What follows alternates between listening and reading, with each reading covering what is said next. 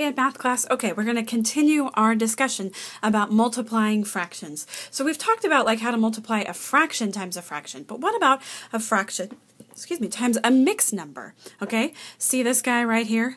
I've got a mixed number. Um, that is really simple. In order to deal with that, I have to convert it into an improper fraction. Okay, so I'm going to rewrite our problem over here. So the 2 sevenths, he's okay. He's just a fraction. He's, he's fine. I'm going to leave him in the same format.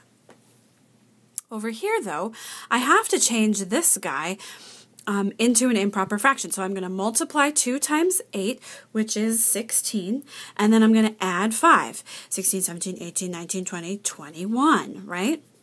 My bottom number is going to stay the same.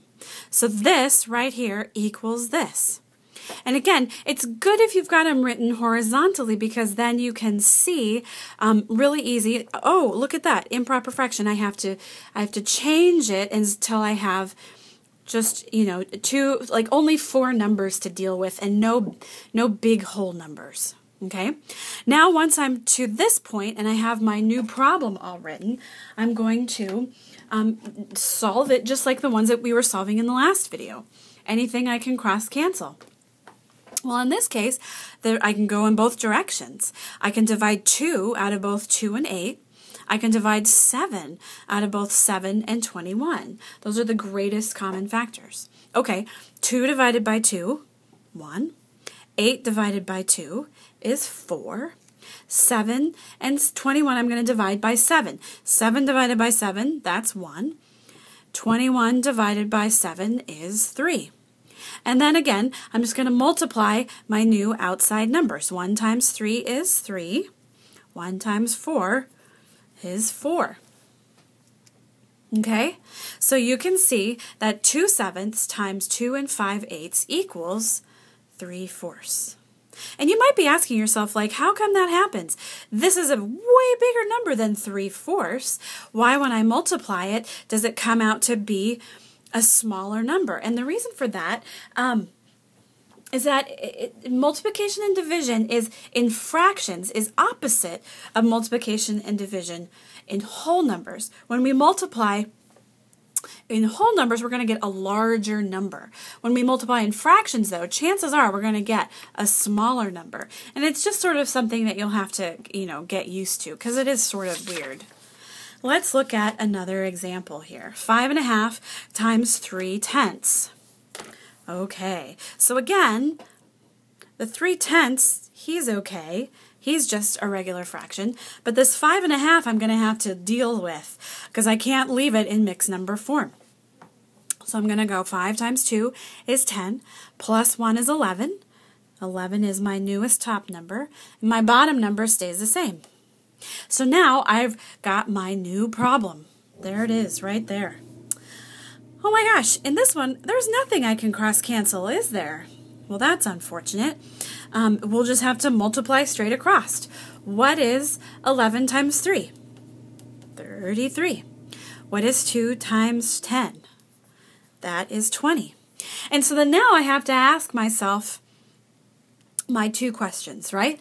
Um, number one, is this a proper fraction? And the answer to that is no right? 33 is a larger number than 20. So that means I'm going to have to come over here, kind of off in the margin of my paper, and divide my top number into my bottom number, right? How many times can 20 go into 33? Well, I know 20 times 2 is going to give me 40. That's too big. So it only is going to go in one time. And then I subtract. So my answer is 1 and 13, right? I bring my remainder up. Oh, that's all crooked. And my bottom number stays the same. Let me get this guy out of the way. So there is my new answer, 1 and 13 twentieths. Now then, is this reduced down as far as it can go because I've already determined that it's a proper fraction, right? I did that. But is it reduced down as far as it can go? Well, again, 13 is one of those pesky prime numbers. I can only get I can only reduce it down if it divides evenly into 20, which it doesn't. So I know that 1 and 13 twentieths is my answer. So this one, we always still had at least one number that was a fraction and not a mixed number. What happens if we have two mixed numbers and we're multiplying them together? Well, we have to do twice the work, sadly. But um, we can totally do that. So here in this problem, I have 16 and 1 third times 2 and 5 fourteenths. Okay, I can't deal with either of them in this form. I have to convert them to improper fractions. Okay, so I do that by saying 16 times 3 is 48 plus 1 is 49. My bottom number stays the same. 2 times 14 is 28 plus 5 is 33 and my bottom number stays the same. Do you see how I did that? Just converted both of those guys to improper fractions. We're going back a couple of weeks. So now that I've got improper fractions, now I can go ahead and solve them. Anything I can cross cancel. Anything at all that jumps out at you. 3, 3 and 33, right? I can divide 3 out of both of these. 3 divided by 3 is 1. 33 divided by 3 is 11. How about in this way, though? In this direction. What are the factors of 14? Well, I had 1, 2, 7, and 14. Ah, 7 times 7 is 49, right? So I, if I divide 49 by 7, I'm left with that 7. 14 divided by 7 is 2. They have a factor in common.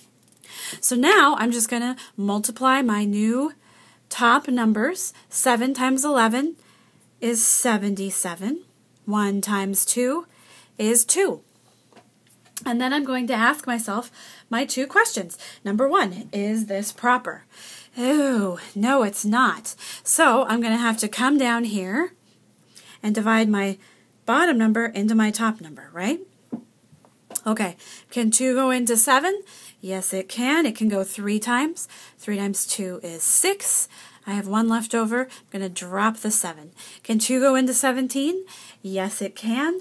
How many times? Mm, I think it goes 8, right? Because 8 times 2 is 16, and then I subtract, and I have one left over. So, this guy, that's going to be the whole number. That's my whole number, right? That's a super huge number. And this is going to be the top of my fraction. I'm going to get this little guy out of the way. My bottom number is going to stay the same. So I've already answered question one and converted this to an to a proper mixed number, right? Um, is this reduced down as far as it can go? And the answer is yes. I've got a 1 on top. It's reduced down as far as it can go. Let's look, oh my gosh, that was a lot. Let's look at another example, okay? Here is our next problem. 3 and 5 sevenths times 4 and 3 eighths. So again, the first thing that I have to do is to convert both of these guys to improper fractions because they're both mixed numbers and I can't deal with them in that way. Okay, so 3 times 7 is 21 plus 5 26. Bottom number stays the same. 4 times 8 is, what is that, 32? Yeah, plus 3 is 35.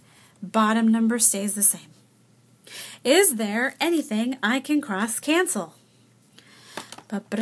Of course there is. there is in this problem. Um, 7 and 35, I can divide 7 out of both of those, right? 7 divided by 7 is 1. 35 divided by 7 is 5. And in the other direction, these guys are both even. So I can divide both of these by 2. 8 divided by 2 is 4. 26 divided by 2, 13. And so then now I have to multiply my new numbers straight across. Okay, so 13 times 5, oh gosh, I'm going to have to come over here and do a little figuring. 5, oh, 65, okay? That'll be my new top number. 1 times 4 is 4, okay? Um, so now I have an answer. I have to ask myself my two questions. Number one, you guys are probably sick of me saying this, but it's so important to do this every time. Is this a proper fraction? And the answer is no, because 65 is way bigger than 4. So again, I have to come over here, I have to do some figuring. I'm going to divide my bottom number into my top number. Okay? How many times can 4 go into 6? No, go one time. 4 times 1 is 4. I'm going to subtract, which is 2. Drop my 5 down. 4 into 25 goes 6 times, which is 24. I have 1 left over. So this thing equals 16 and 1 fourth. Let me get that out of the way here so we can see our answer. And I know that this is reduced down because I've got a 1 up top. So 3 and 5 sevenths times 4 and 3 eighths equals 16 and 1 fourth. So we're going to practice this in class. Um, have a great weekend.